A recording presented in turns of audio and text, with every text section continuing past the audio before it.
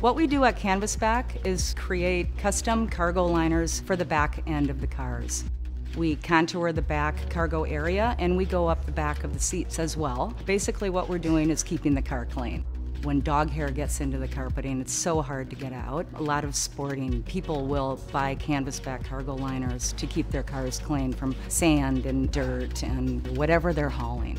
What makes us different is that we can customize each and every liner. If you want D-rings cut out, we can do that. If you want the child restraints, we can do that. If you don't want the child restraints and want more coverage, we can do that.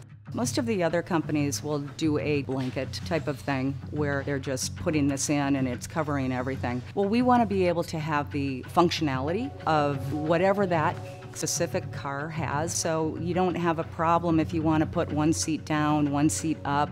Our solid colors. Our 600 by 300 poly denier has a PVC backing, which makes it totally waterproof. It will not penetrate through. The other prints are a 600 by 600. It's a heavily sprayed urethane on the back, a little thinner, but even more durable than the solids are.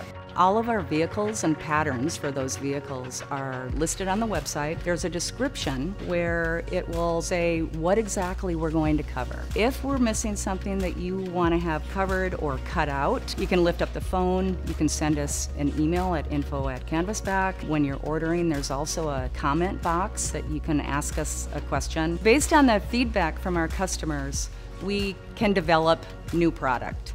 We have developed bumper flaps and cargo side pieces and door covers, some console covers. All of our liners are handmade in the USA here in Minnesota.